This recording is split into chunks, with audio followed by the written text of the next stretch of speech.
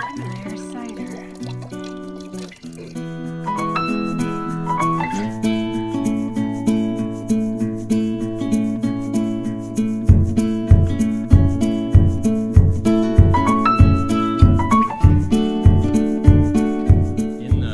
workshop, we're assembling a box.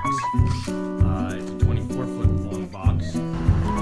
We've strapped a handcart on the end of this, this end of the bridge.